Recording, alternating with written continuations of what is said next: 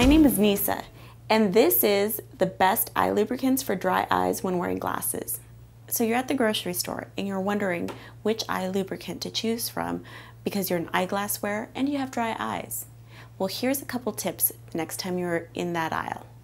The first thing you want to look for is if it's ophthalmologist recommended. Because if it is, chances are a panel of ophthalmologists have looked and reviewed it and has judged it based on its performance. Secondly, you want an easy to use applicator, something that you know that you'll be able to do at home.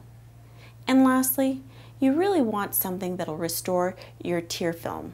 So remember, the next time you're in that grocery store aisle and you're wondering what to choose from, use those three tips and you're sure to make the right choice.